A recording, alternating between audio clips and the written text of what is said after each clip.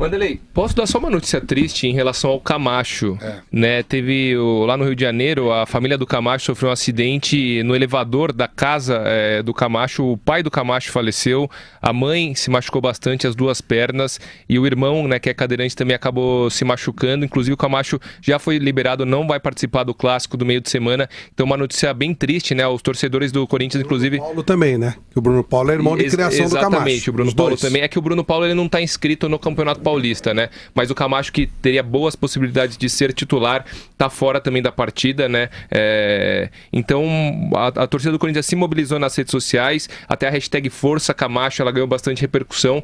Uma notícia bem triste, então, para um dos jogadores do Corinthians. É um elevador caseiro que só existia na casa em função do fato do irmão ser cadeirante, enfim, e, e- e houve um despencamento. Aconteceu essa tragédia e a gente lamenta muito Olha isso. Esse elevador foi construído pelo, pelo irmão do, do pai do Camacho, pelo tio do Camacho. Ou seja, ele também está se sentindo culpado. Olha que loucura isso. Já envolve o tio também, que também está se sentindo culpado. Olha que situação terrível. E como é que nós soubemos isso? Nós soubemos isso, essa, essa notícia não, não transpirou. Nós soubemos ontem à noite, quando o, nos contou o Fernando Diniz. Aí, pô, peraí, Fernando Diniz?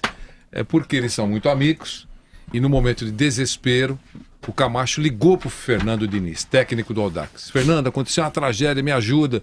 E, e foi o Fernando Diniz que deu, digamos assim, o primeiro atendimento, né? Eh, o primeiro ombro aqui em São Paulo ao, ao Camacho. Então, só para explicar, essa notícia aconteceu ontem à noite, transpirou ontem à noite.